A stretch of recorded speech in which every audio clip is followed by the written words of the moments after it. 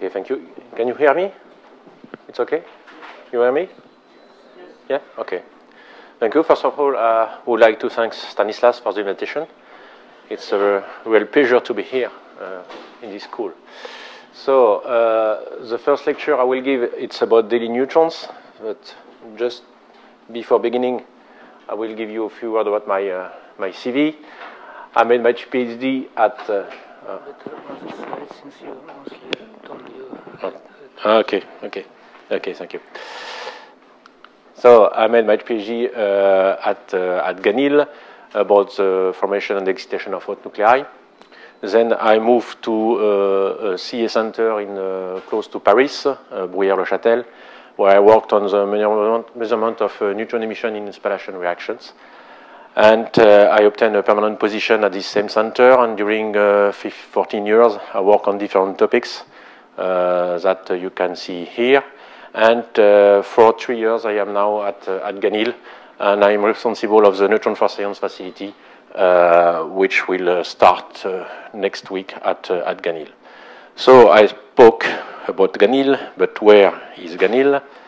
Ganil is in Normandy. Oh, here you have a map of France, and Normandy is this region, and, and Ganil is here in Caen. It's more or less uh, 200 uh, kilometers west of Paris. Uh, Normandy is a quite well-known country for some specialty based on apple, okay? You have cider, camembert, or calvados. We are also very well-known monument here at the Mont Saint-Michel, but we are also few nuclear power plants. Three of them are in Normandy.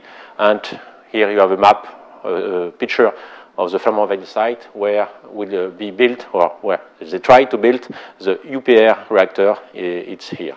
And we have also the uh, site of Areva where uh, nuclear fuels are reprocessed. Okay, and in addition, we have also the Ganil facility, which is a, a heavy ion accelerator, which is on that part. And we are building here Spiral 2 facility, which is now, the building is now finished. It's a new, uh, new accelerator. Just a word about, about uh, Ganil. Ganil in that part, it's uh, an accelerator of large, uh, a large accelerator of heavy ions uh, up to 100 MeV per nucleon, and dedicated mainly to the study of uh, nuclear structure and uh, nuclear reactions. And the new accelerator, Spiral 2, is that part here, which will accelerate proton and deuteron up to 40 MeV at a very high intensity.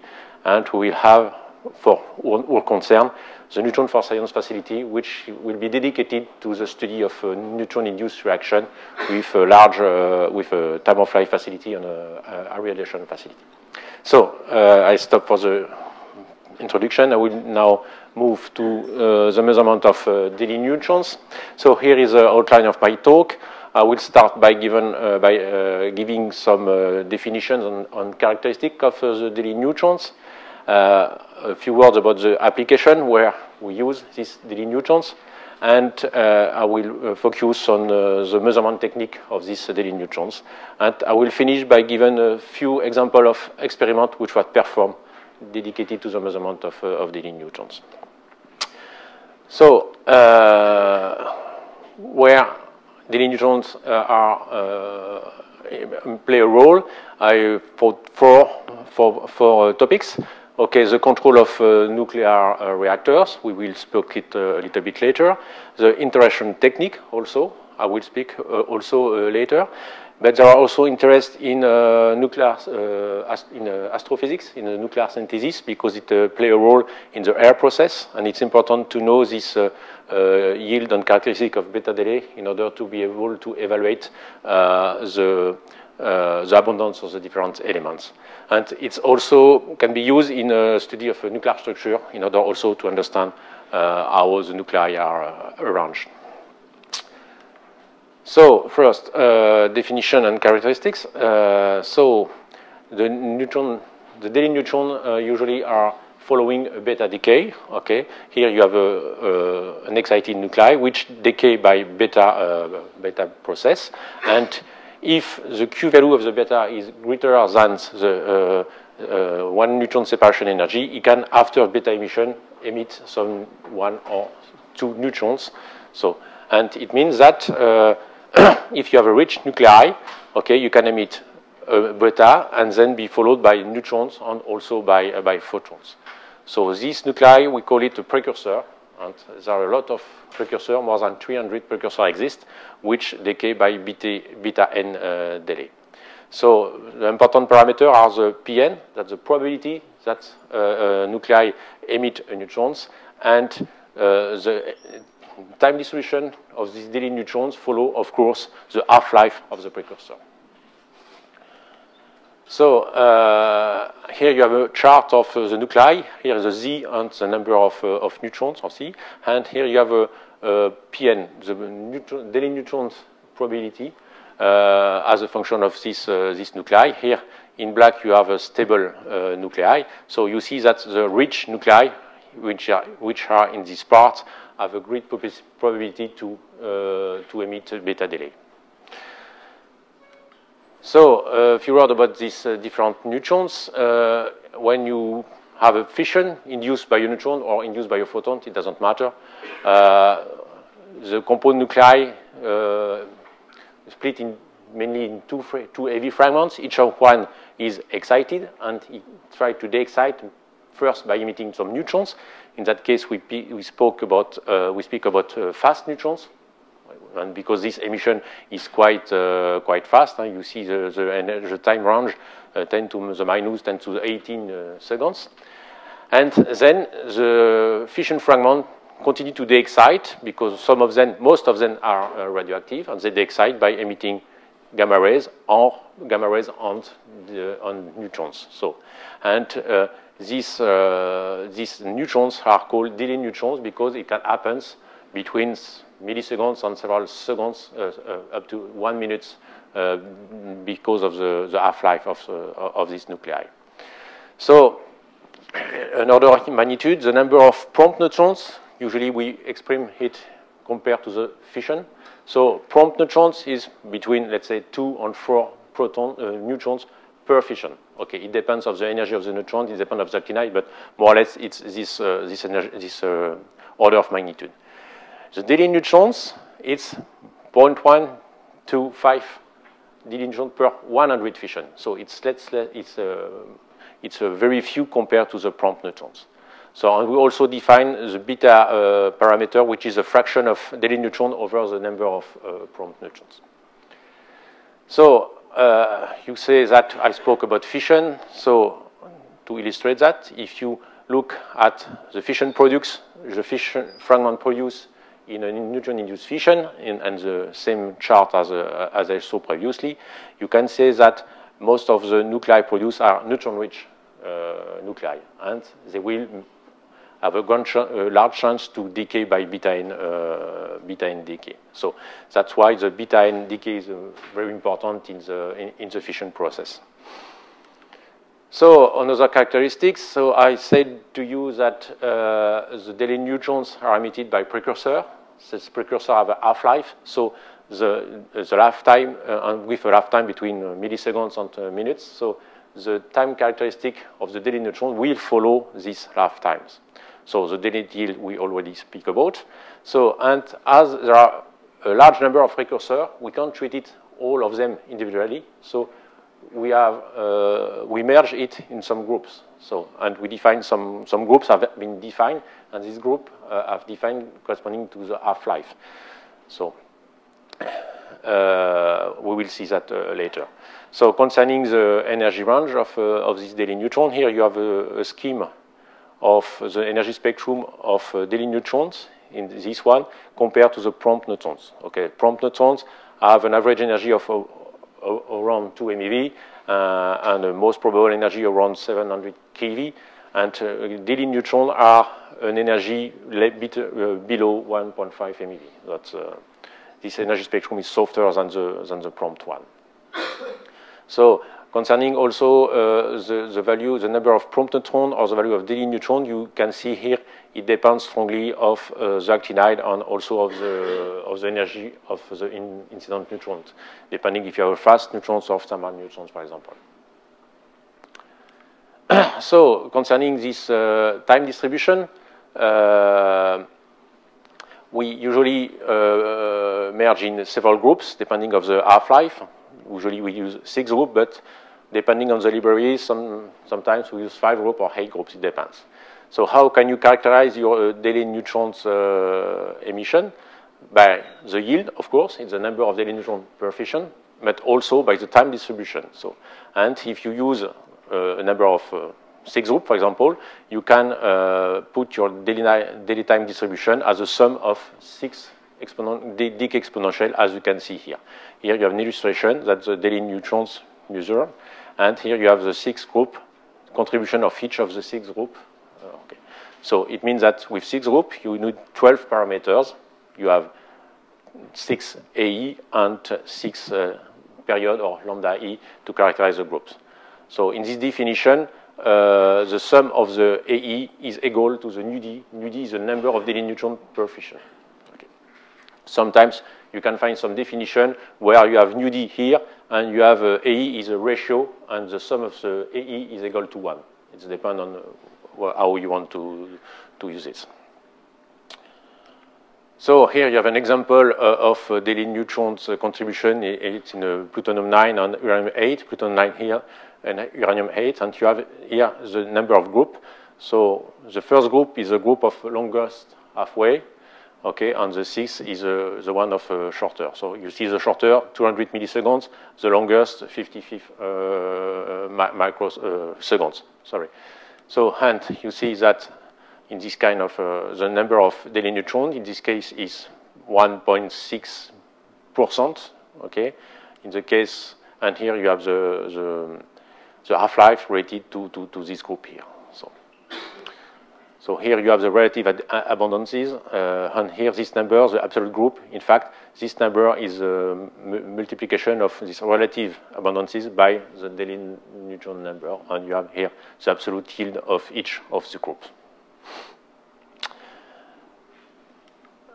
Okay, now uh, as an application, so we can use uh, delayed neutrons in the active interrogation techniques. So what is uh, the goal of this kind of activation technique? So the first, one of the first is the safeguards. Okay, you have a suspicion about uh, a package, so it can be you want to see uh, to to see if you have not a nuclear weapon or more probably a traffic of nuclear materials or a dirty bomb. So you, you want to, to, to know if there are an actinide in your package.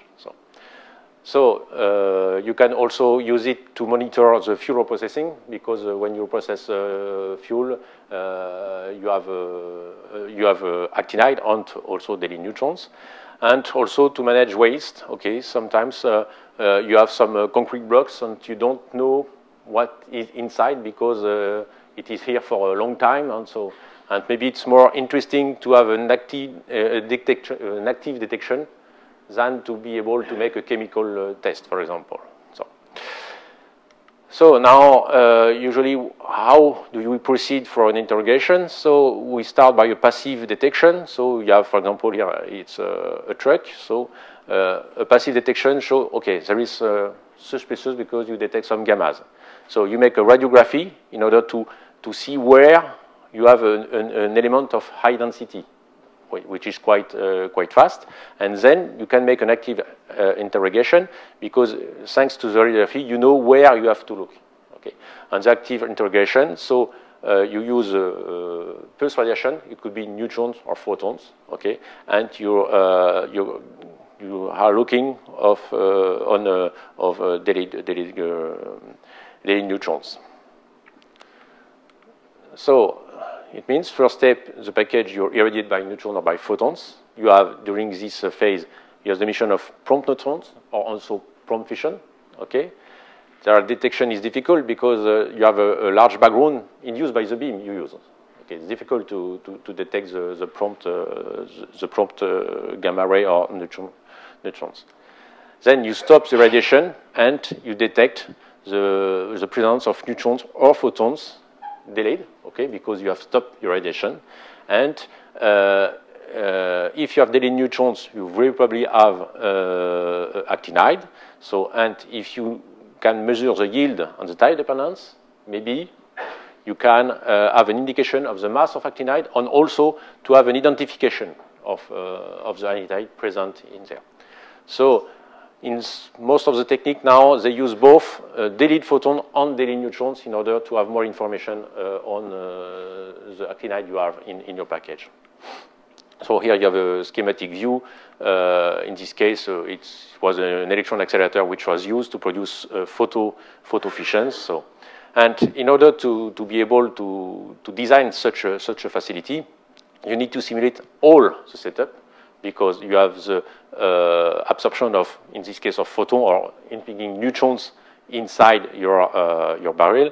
And you have also to simulate uh, the absorption of delayed neutrons or delayed photons from the actinide and to, until the, the detection system. So, and for that, you need a, a simulation. And for this simulation, you need re relevant data and especially the characteristic of the delayed neutrons especially if you want to, to be able to identify your, your actinide.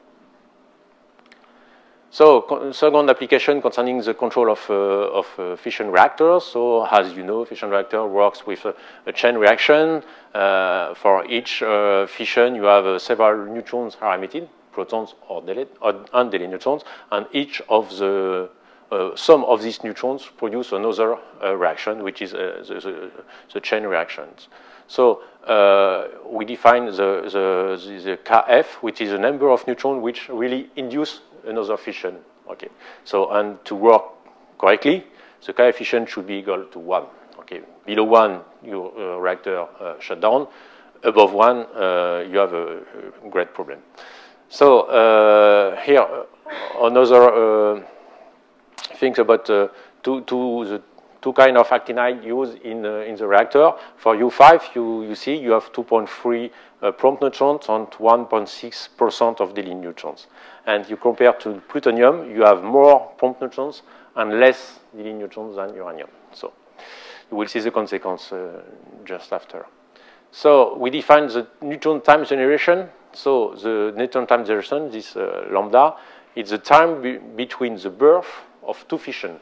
Okay, fission neutrons in, induced in successive uh, generation. So if you look at the population of uh, neutrons in, in, your reactor at a time t, uh, this one, and you, you, see, you look at uh, the, the, number of neutrons at time t plus lambda, okay, it's, uh, it has been increased by a factor of k effective, so you can make this uh, small mathematical transformation, and you have here the evolution of the number of neutrons as a function of the number of neutrons at t equals 0, and the time, the k effective, the multiplication factor, and uh, the neutron generation time. Okay? So, if you want, in fast reactor, the uh, time generation is around one microsecond. You have to take into account the emission of neutrons, uh, the neutron-induced fission, and some some slowing down. In time reactors, the uh, average prompt is uh, is larger because uh, you have a slowing down of neutrons inside the, in, in, the water. Okay, that's due to the prompt neutrons. Okay, now if you look at do, what is due to the delayed neutrons for this uh, uranium 5 neutron-induced reaction, the average delayed neutron is uh, 12, 12 seconds. It's much larger than this one or this 25 microseconds. So now, if you want to calculate the total average of this uh, of this time, you have to take into account the uh, average time of prompt multiplied by the number of prompt neutrons and the average uh, delayed neutron multiplied by the number of delayed neutrons. So, so uh, and okay, in always the case of uranium 5, okay, you have a beta, beta of uh, 0.65% it's a number of delayed neutrons, the ratio of delayed neutrons. So if you calculate the uh, average time by the formula just, just before, you have an average of uh, uh 81 milliseconds. Okay. Now, if you take the hypothesis of a Keff of uh, 1.301, which is very close to 1, but uh, not 1, okay. Now, if we add only prompt neutrons, okay, I remind you the average time was 25 microseconds. And now if you calculate the uh, uh, increase of neutrons in one second, and, and n0 is the number of neutrons at t equals 0, and n at t equal 1 second, the number of neutrons one second later. So you uh, apply the formula, you apply this formula, okay, and you obtain an increase by a factor of 55. So in this case, it's completely impossible to control your reactor such an amount in one second. Now, if you take into account the average time delay, we just calculate uh, here. Here we have no more 25 microseconds, but we are uh, 0.1 uh, uh, 80 uh, milliseconds. And in that case, you use the same, uh, the same formula. And here, the increase is only on 1 over 1,000. So in that case, you can control your actor. So just to say that without delayed neutrons, we won't be able to control a nuclear reactor. Okay, that's uh, one of the main uh, application of delayed neutrons. So it means that uh, you know to need this kind of, uh, of value in order to make your estimation of your, delayed, of your reactors. So another uh, other things that uh, I already show you some difference between uranium-5 and plutonium-9, okay? Because the number of delayed neutrons depend on the actinide and also on the energy. So here you have, why? Because here you have the fission, uh, fission, uh, fission fragment uh, yield distribution okay, induced in a fission of uranium-8 and in curium-239. You, you, see that the distribution are clearly not the same.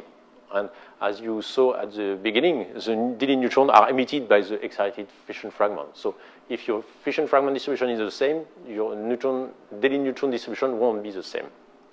And here you can see uh, for different actinide of increasing masses, you have here nu the number of neutrons emitted. It in increases with the mass of the actinide, but the delayed neutrons is decreases with the mass.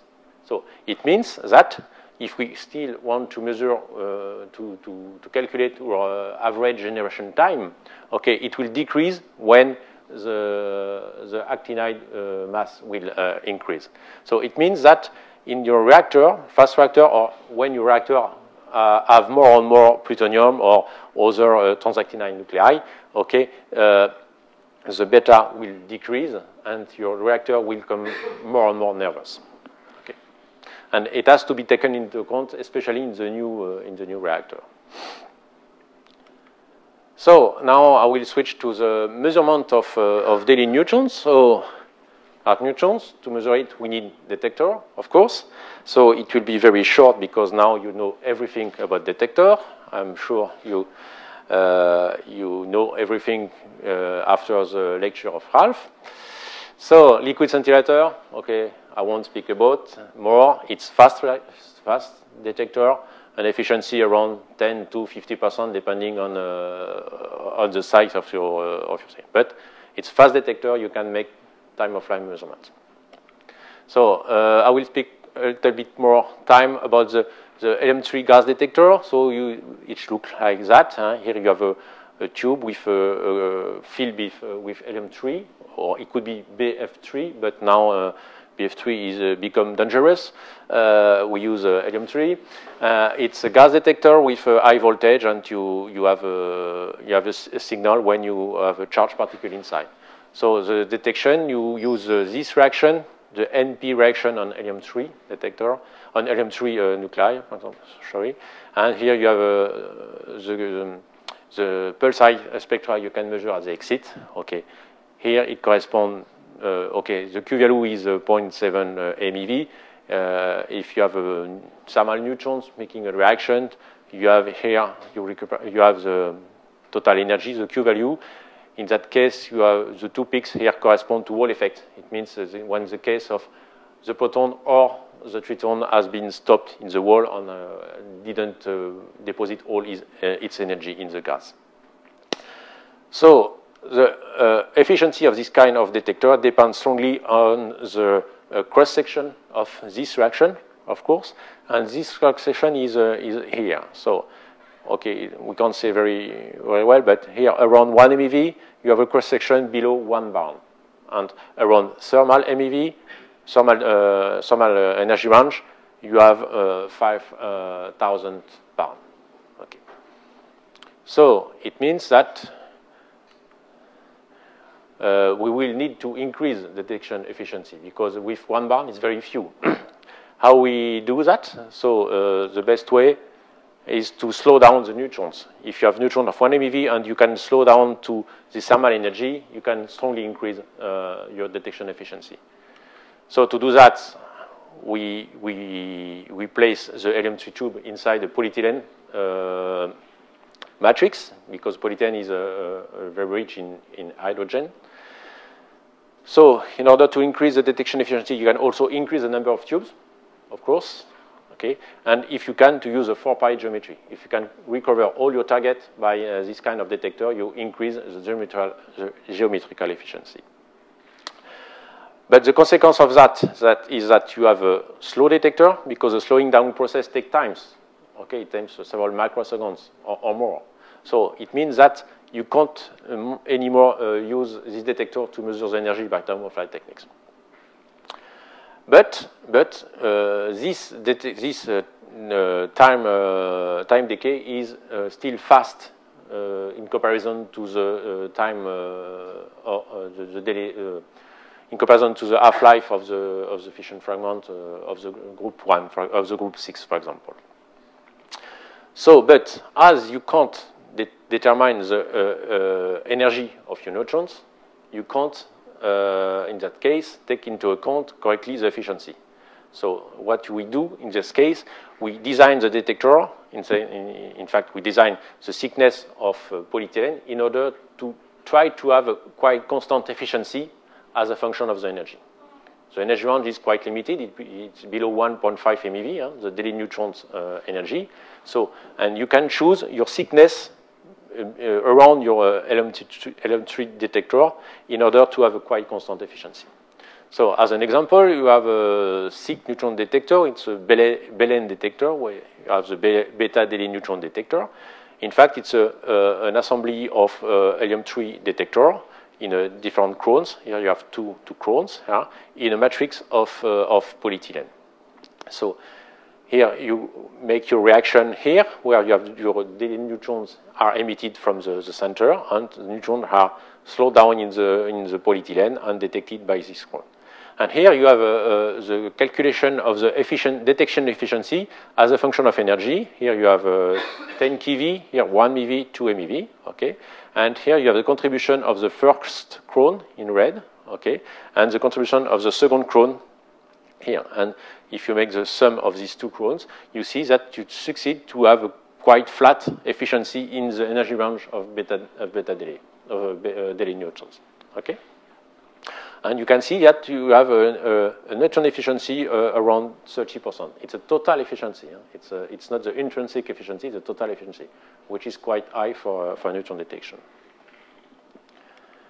So you, have, uh, you can also uh, increase efficiency if you increase the number of uh, helium-3 tube on also the size of your polyethylene. Here you have an example of the BRIKEN uh, detector.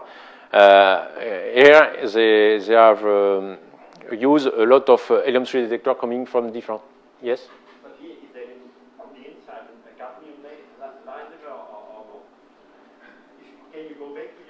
But Uh, I don't think so. Why?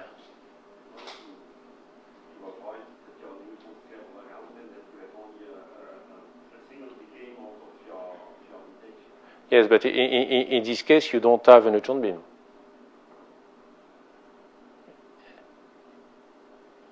No? In this case, you don't have a neutron beam. I will show you later. It's used, it's used with a, a beta detector to start the measurement.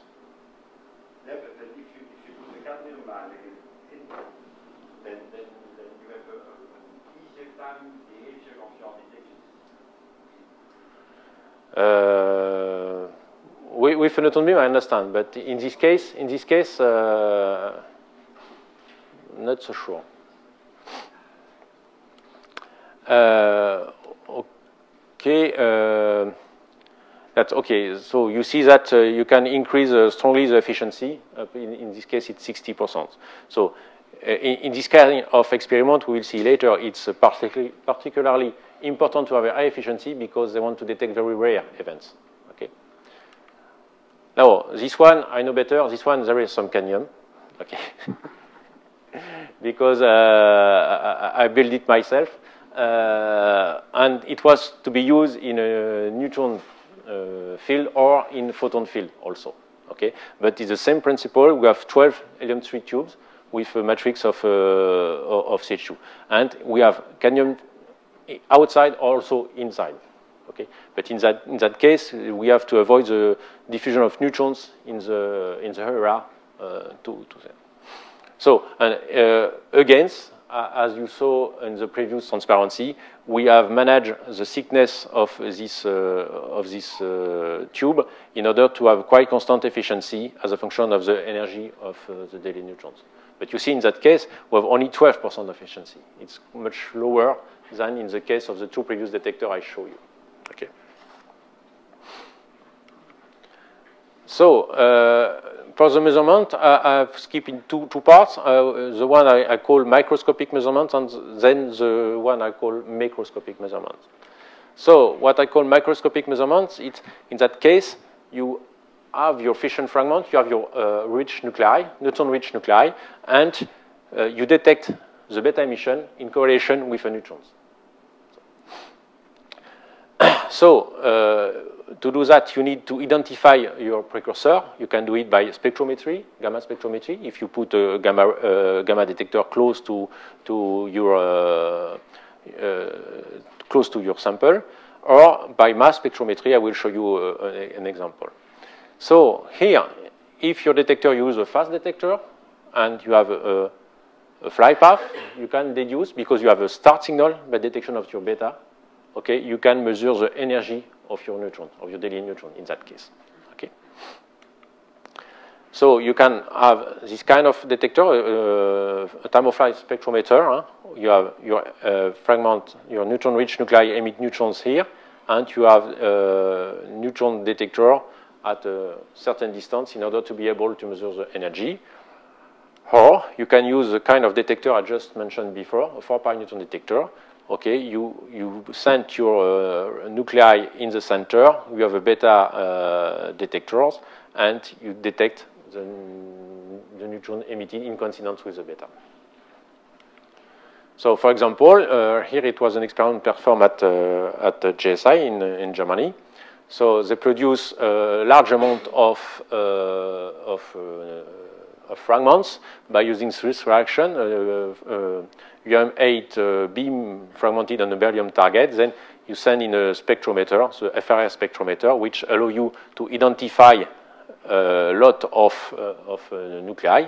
Here you can have this identification of, of the different uh, nuclei and also of the, of the isotopes. So, and for each time you implant one detector in your uh, silicon detector, for example, you detect a beta, and in coincidence, you are looking the neutrons you are uh, emitting. So, and by that way, you can measure the, the delayed neutrons, the probability of each of these, uh, of these nuclei. So, okay, time-of-flight technique, you know everything about that, of course. Uh, you understood very well that the important uh, parameter are uh, the time resolution and the flight path. So for the time resolution, I already mentioned, you need a fast detector. You can't use a detector with a CH2, okay?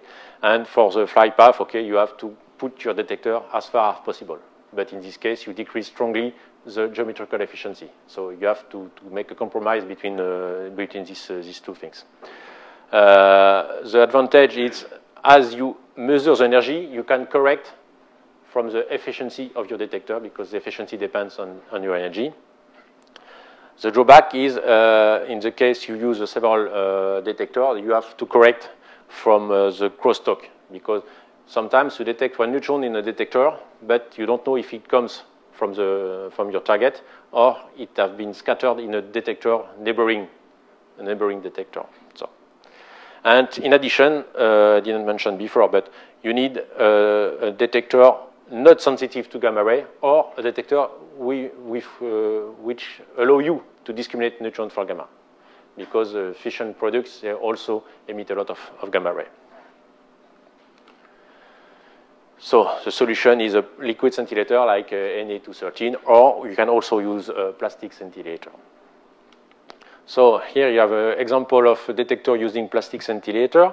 Uh, on the on the left hand side, it was a Tonnerre detector, which is uh, no more used. It was uh, it was used at uh, at Ganil, it was used at CERN also. So you have some, uh, some plastic scintillator on, on, that way. You have two phototubes at uh, each part of the scintillator. When you detect an event here, you have the difference of time between this phototube and this one allow you to, to, to make a localization of your detector. Uh, you see it's a geometrical like a, a barrel. Uh, in the center, you have the, your your point of emission, where you, have the, you detect the beta decay, and you, by time of flight, you can measure the energy of the neutrons from here to here. Okay. Uh, in that case, you have an efficiency of, uh, you have a, an angular coverage of uh, half of uh, 4 pi and an intrinsic efficiency of 30% at 2 MeV. But the re energy resolution quite, was quite poor, not better than 10%. Okay, here you have another uh, kind of uh, such a detector. It is a VANDLE detector. In that case, it's also plastic scintillator, but uh, the uh, the detector has a long and flat uh, flat parts. But uh, the advantage of this detector is that you can arrange this set of this array of detectors in a different geometry as you want. So now you have uh, this kind of detector, now spectrometer also, but with a liquid scintillator, uh, as I mentioned before. Here you have the skin of the, of the monster detector, which uh, uh is, uh, it still exists, but uh, all the detectors are not yet available. And the number of detectors is increasing with the time. So that's detector based on liquid scintillator. And here you have the the, the parameters and what is expected. So the goal is to have a quite good uh, uh, energy resolution measurement and also to have a quite high efficiency in order to be able to measure beta n decay, but also beta 2n decay. So if you want to have the event with two neutrons, so it becomes more difficult to, to, to, to, to have them. Okay, here you have the, uh, the expected uh, geometric efficiency and the, on, on the energy resolution. So uh, this kind of detector will be used at, uh, at different facilities, at DESIR, at CERN, uh, okay, especially for the study uh, of nuclear structure or for astrophysical uh, studies. So I will now go to this uh, other kind of experiment, what I, I call microscopic measurements. So in that case, we don't detect the beta delay, okay? We will uh, irradiate a sick sample and detect the emitted delayed neutrons. So for that, what do we need? Uh, we need to know the fission rate, okay? and this fission rate can be calculated uh, from the flux and the mass of the samples, if you know the cross-section, okay? Or you can measure it if you have a detector fission, fission chamber, for example, uh, with the same, uh, the same actinide or the one you want to, to study. You need to, to have a, a, uh, a beam cutoff which is fast because you want to make irradiations and to cut the beam and to detect the delayed, uh, delayed neutrons. So fast, it means faster than the shorter half-life. Uh, it means the group, the group 6 with a half-life of, uh, of 200 milliseconds. And also, you need a high, efficiency detector, not sensitive to photon, of course. Uh, and as I mentioned before, we'll use a 4 pi neutron detector, uh, and if possible, with an energy uh, not depending of the energy, uh, with an efficiency not depending of the, of the neutron energy. So, you have a sample of mass m, okay? You radiate it in a flux of neutrons, phi, Okay, you can calculate the fission rate by this uh, uh, by this formula. Huh? If you, you you need to know the flux on your fission cross section, okay, you calculate the the rate. So you will irradiate during a certain time tr, and then you will detect delayed neutrons uh, during that period. So now, if you look at a group E, the delayed neutron uh, rate of this group is uh, during the radiation is given by this formula, okay, the fission rate, uh, multiplied by the uh, abundance, the number of delayed neutrons of group E, and this period to take into account uh, the, the, this, uh, this behavior of the curve. Okay? Then, when you stop the radiation during the decay, okay, the yield, neutron yield you measure here, is equal to, to this part. It means that this part is the number of, uh, of neutrons you have at the end of your radiation, and here it's just the decay of your neutrons. Okay, and for all of the group, okay, you make a sum uh, of this part on all your six group, for example. So now there are two strategies uh, depending on the time of the irradiation you made. If you use a very long irradiation time compared to the group, the group uh, one, okay, group one is 55 seconds. Okay, always the same things, okay, and now, okay, you detect the number of neutrons, I call it Fn, the number of neutrons uh, you detect with an efficiency uh, epsilon. So the yield of neutrons is uh, this one, the one you detect corrected by the efficiency. Okay, if you have this relationship, okay, this value is more or less equal to 1, okay, and it simplifies the equation we had before. That's this one, okay. At this one, this equation become becomes this one. Okay, you have the time distribution as a function of the fission rate and the parameter of your, uh, your group E. Okay, and if you take at t equals 0, this becomes this. At t equals 0, you have just the fission rate multiplied by the uh, number of uh, delayed neutrons. Okay, so that's the value we want to know is this one, the number of delayed neutrons. It's just obtained by measuring your number of uh, neutrons at t equals 0. At the end of your radiation, you measure the number of neutrons. You have Fn. From Fn, you can deduce uh, this, this value. Okay? Now, if you use a very short irradiation time this time, okay, always the same uh, counting rate, uh, the, same, the same picture, always the same formula, same relations. But in that case, if the T radiation is very short, this relation becomes this one, and the first uh, relationship we had, okay, during the decay of neutron become this one. You replace this by, uh, you replace this part by this one, and you obtain this relationship. Now, if you integrate this part from t equals 0 up to infinite, but uh, up to the end of the decay, you integrate this zone, okay, uh, this relationship become this one, Okay, I remind you that the number of fission during the experiment is the fission rate multiplied by the duration of irradiation. This integral is equal to 1, and so you obtain this value that the, your integration here is equal to the number of fission multiplied by the value you are looking for. It's the, uh, the sum of the AE, which is uh, mu t. Okay? So in that case, you have to measure the integration of this thing. So which method will you use? It will depend on the flux you have, and so you have to make your estimation to see if you have to use this one or the one uh, I, just presented you before. So uh, here you have the, uh, again the time distribution of, uh, of, of, our neutrons with the contribution of the six groups that you can see here. Okay, the shorter group are here, of course, and uh, and the longest one is uh, uh, oh, I think there is something wrong in because the red one is a, is a sum. Okay. Oh. Okay. So what you see is that if now just previously, I just show you how to determine the new d, the number of delayed neutrons. Now we want to determine the uh, different parameter.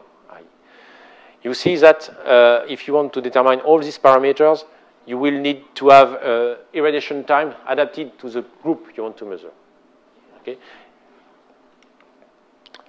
So if you want to measure these groups, okay, you will need to perform, if you want accurate measurement, you will need to perform different irradiation of different time of irradiation and time of, uh, of decay.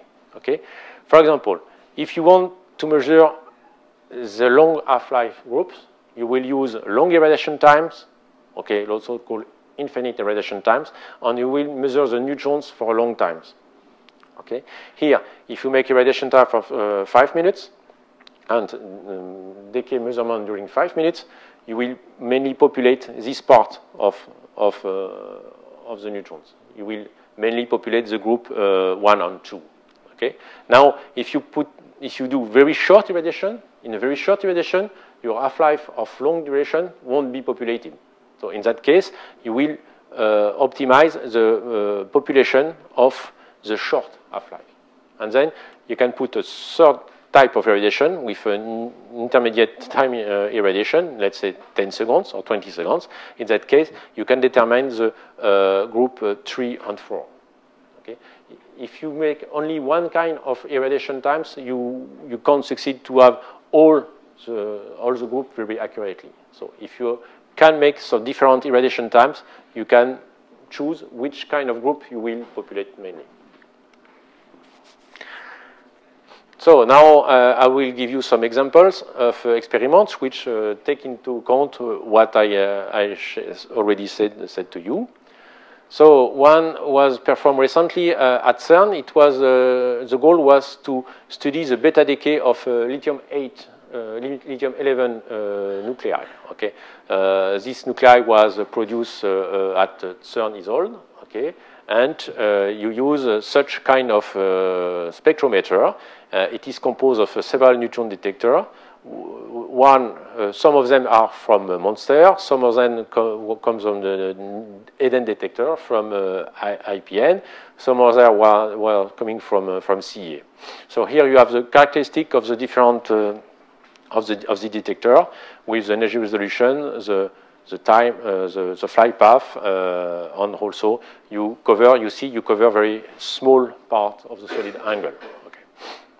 Here you have a picture of uh, what it looks like. Here at the center, you, you have the detector of beta, beta detector. You have, in addition, a gamma, uh, a gamma detector in order to, to make some identification uh, of, of the uh, of the lithium, lithium haven. Okay, and here you can see the different uh, detector.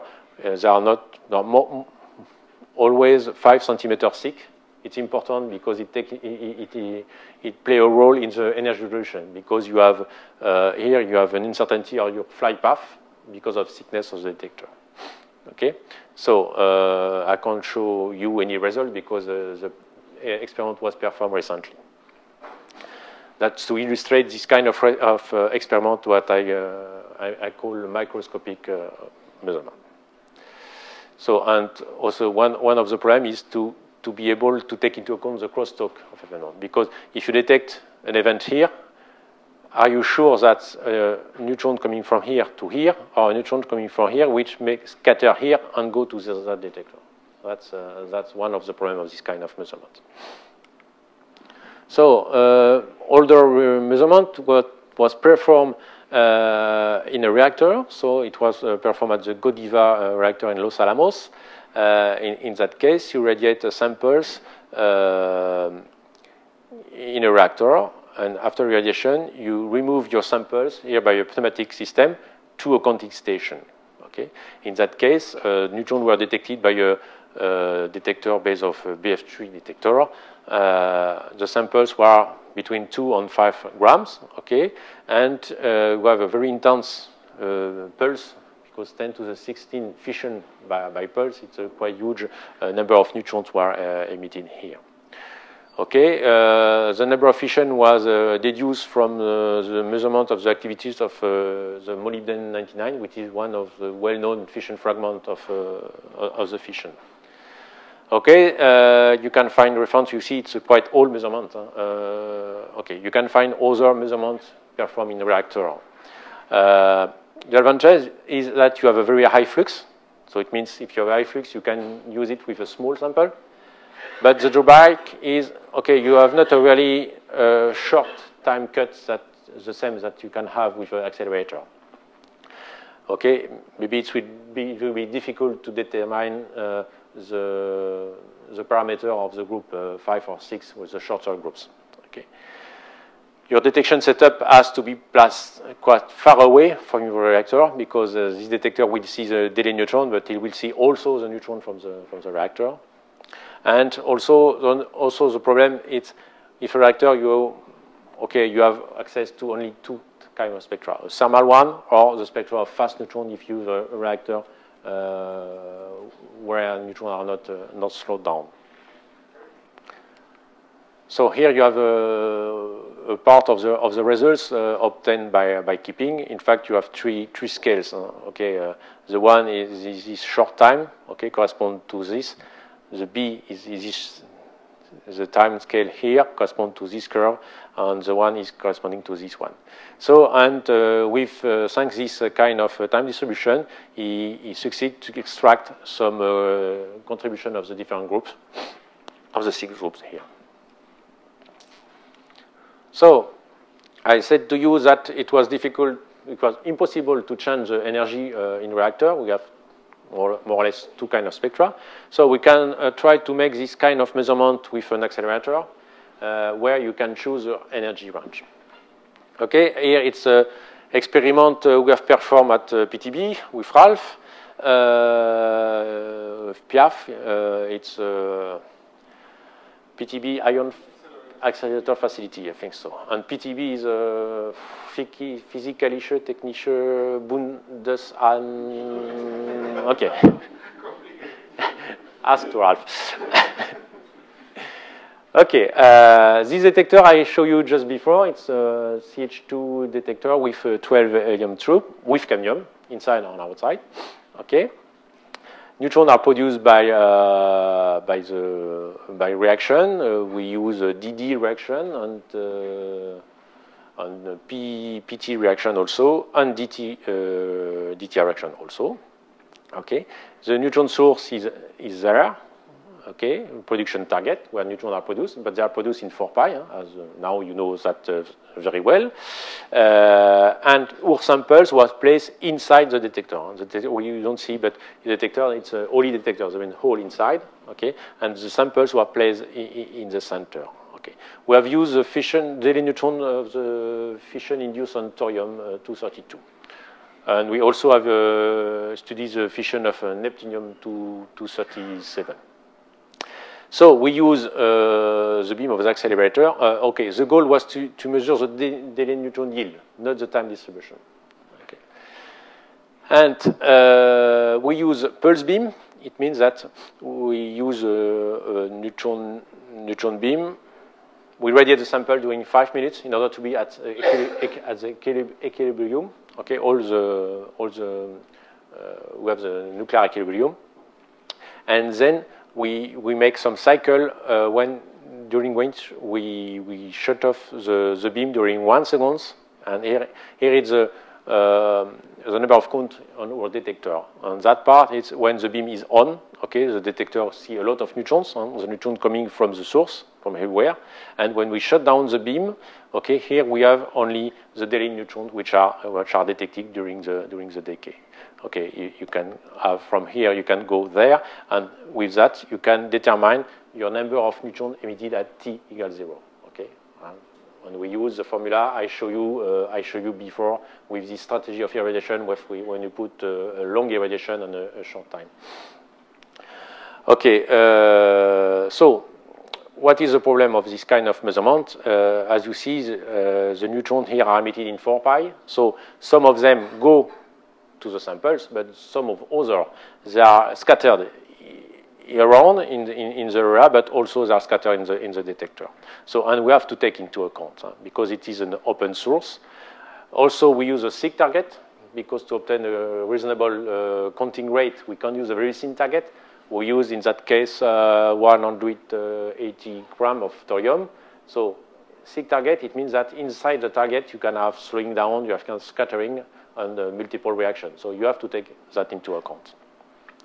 And also we have to make a correction because our irradiation time was not uh, infinite. Okay, we, we have uh, uh, we have some cycles and you have a small correction to, to, to perform to that. So here you have uh, a simulation performed with uh, MCNPX of the number of fission in the samples. Okay, here it was as a function of the energy of the neutron which produce the fission. Okay, and in that case we use uh, a monokinetic neutron of 4 MeV. So here you have two, two parts with the detector or without the detector. With a simulation, it's very easy to remove the detector or not. And what you look, it's that many of the fission are produced at 4 MeV, which is a direct neutron uh, emission, which, uh, direct neutron energy we have produced. but there are also fission induced at lower energy. It's due to neutrons which are slowed down in the samples, and also neutrons which have been uh, or slowed down in the sample for this one. And for this one here, when uh, the detector is taking into account, that's the contribution of neutrons which are scattered in the detector and go back to the sample. Okay, so we have to take into account of that part. But we have also neutrons produ uh, fission produced at energy higher than the incident neutron beam. So, how can you explain that? Mm -hmm. Mm -hmm. So it's just because we make a large amount of fission. And when you make fission, you produce neutron fission. And this neutron fission have an energy going up to more than 10 MeV. And this neutron fission can induce a secondary fission. That's why we can produce fission at energy, at neutron energy higher than the neutron energy of, of the beam. Okay. So now, Houdelé neutron. But Houdelé neutrons, they come from all the fission. Okay. So they come from the mono monokinetic part, from the fission coming from here. That's the one we want to measure. But we have also Houdelé neutron coming from this part, which we call up up part here, and we have also neutrons coming from the down part. Down part, that's the neutrons we are coming here. So our delayed neutrons are all these contributions. So, and if we want our neutron, delayed neutrons yield in the monokinetic part, we have to take into account all these contributions. Okay, so it means that we have some corrections to do. So now, in order to minimize the correction, we have to place the samples as a good, good position if you are closer to the source, you can minimize the backscattering of neutrons from your detector to the samples. But it has to, to, be, the, to be simulated uh, before. And then we uh, succeed to obtain the yield, uh, neutron yield uh, for different energy from 2 MeV up to 16 MeV, and these three points were completely new, uh, were not existing before. And here we have the value which were in the evaluated databases. So and it seems that the databases was not too, so wrong. Okay. So another uh, kind of experiment. Now we switch to the photo fission. Okay. That experiment we have performed at, uh, at CEA.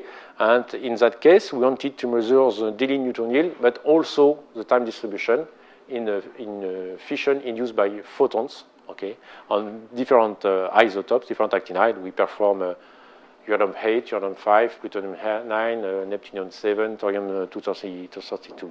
Okay. So in a Bremsstrahlung, uh, we use uh, an electron accelerator. Uh, the electrons are hitting a tantalum converter. In that case, you produce Bremsstrahlung spectrum, like you have a, a, a picture here. If you use 15 uh, MeV electrons, you produce gamma up to 15 MeV. Okay, so we have behind a collimator, behind this converter, in order to have uh, photon beams and our same detector as previously and our uh, sample inside. Here's the advantage that we have a collimated beam. So in that case, that uh, no photons uh, are supposed to to hit the detector and to be uh, scattered to, to the sample. So here you have a picture of, uh, of the setup and uh, the exit of the collimator. In addition, we have put also a photon detector, BGO, to, to try to measure the delayed photons at the same time. Okay, and the target was placed in, in the center of, of that. Okay, and uh, again, we make a, a, repetitive cycle of irradiation and counting, as you can see here, and also, okay, always the same in order to determine these two parameters for each group. And if you have this parameter for each group, you can deduce the new d, which is the sum of this, uh, of this i. Okay, here you have some uh, results we have obtained. Uh, that's the relative contribution of, uh, of the different group, group uh, 1, group 2, group uh, 3, and up to 6. And we have performed this measurement at different energy. And here, no, I don't know where are all results. I don't. No, results are the, the uh, I don't remember. So So, but what, what we look, uh, it has been performed at different, uh, different energy, incident energy of the, of the bremsstrahlung. And uh, we see that there are some differences in some groups, uh, mostly in the uh, short half-life, there are differences depending on the, on the energy. So the energy of photons uh, influence the relative abundance of the, of the different group. So, and we find some differences with uh, previous measurement uh, of, uh, of this guy. Uh, and mainly we, we think that uh, we found these differences because we perform these three kind of uh, irradiation time. So short irradiation, medium irradiation, long irradiation, that it, it can't do it. So. another kind of experiment that's uh, delayed neutron measure in spallation reactions. So spallation reaction, I remind you, it's a high energy proton or deuterium or helium-3 or uh, light nuclei usually, uh, which it's a target and it makes a cascade inside the nuclei and it can produce a lot of particles, but mainly neutrons, but also protons, but many neutrons. And if you use this kind of reaction in a thick target, the neutrons you have emitted in your nuclear reaction can induce other reaction and other and other. So it means that thanks to a thick target on high energy beam, you can produce a lot, a lot of neutrons. But if you produce a lot of neutrons, you will also produce a lot of fission, okay? But uh, by the neutrons, okay, or also by the, your uh, primary uh, beam of proton, for example. So here we use, uh, this experiment was performed at, uh, at Gatchina in, in, in Russia uh, we use a 1 GeV proton beam hitting a lead target, and here we have placed a neutron detector, helium, helium 3 uh, detector, and we, we send the beam, we cut off, and we detect the delayed neutrons. And here you have a, an example of uh, the kind of spectra we measured. So we measured uh, bromide, uh, we, we measured neutrons that we attribute to bromide thanks to the half-life, so that's fission products. But you see that we can also see light nuclei which decay by uh, beta by uh, delayed neutron emission, like here lithium 9 or, uh, or uh, nitrogen 16, 17. So a picture of uh, the target. When I say thick target, it's a thick target. Okay. Uh, okay. So here's the, the, exit of the beam. At 1 GeV, you can do it in the air. It's no problem. And here it was a neutron detector. So, and uh, we have measured this uh, production of this element as a function of the thickness of the, of the target.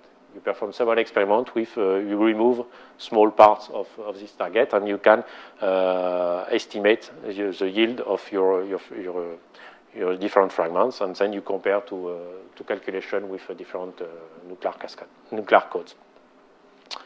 So another measurement concerning spallation spallation reaction. It was performed in that time at uh, PSI in, in, in, Switzerland with the mega, MEGAPIE target. So, okay, MEGAPIE, MEGAPIE, it was a liquid target of uh, lead bismuth heated by uh, high energy protons at uh, 590 MeV, uh, I assume. So, in order to produce a large amount of neutrons for different uh, applications. So, the, the target is a liquid metal target. Why liquid? Because uh, you can uh, you, you can't destroy the when, you use a solid target with the energy deposition, you can destroy your, your, your, target. So with a liquid target, you can evacuate the heating deposition, and in fact, it's a loop, and uh, this uh, this this. Um, this liquid is in, inside a loop and it, uh, it moves uh, around. Okay. And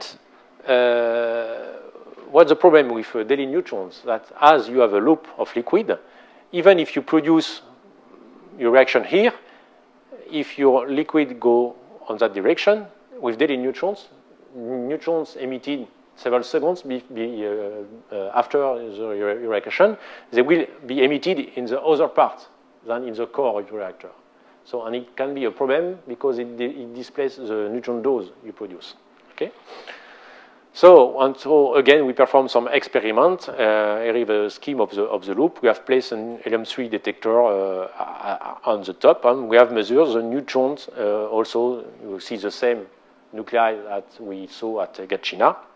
but we could estimate the neutron dose produced uh, quite far from the core of the, of the reactor. So, and it was not negligible because uh, uh, the rate of neutrons was was not so insignificant.